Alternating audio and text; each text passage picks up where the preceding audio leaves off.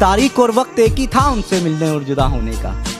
कि तारीख और वक्त एक ही था उनसे मिलने और जुदा होने का। अब खुशी मनाए उसे पाने की या गम मनाए उसे खोने का।